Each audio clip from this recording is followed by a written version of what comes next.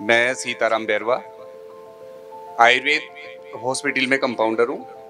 मेरे छोटे भाई का बच्चा अभी जो 2021 में पास आउट हुआ है। चूँकि वो नवोदय विद्यालय में पढ़ता था तो इसलिए हम उसको इलेवेंथ में भेज नहीं सके। मन का चलो ट्वेल्थ यहाँ से कर लेगा, उसके बाद देखते हैं। नज़र तो मेरी पहले से ही थी, क्योंकि मेरा एक ट्रेनिंग मेट्स था जयपाल डेगवाल।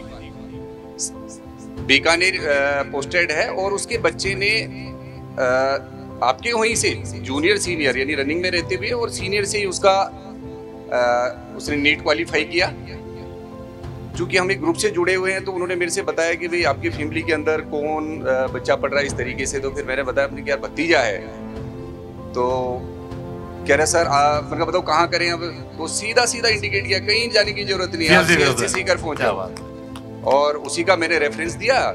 कोई दिक्कत नहीं बच्चे से अब जब भी हमारी बात होती है तो पता चलता है कि हमको पता है कि 12 बजे फ्री होगा वो। रात को 12 बजे फ्री होगा, समय ही नहीं है तो हम भी डिस्टर्ब नहीं करते उसको।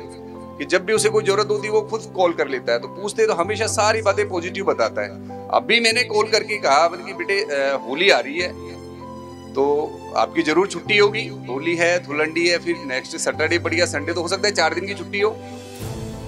एक ही बात उसने की कि बाबा, चार दिन में आऊँगा, एक दिन आने में, एक दिन जाने में।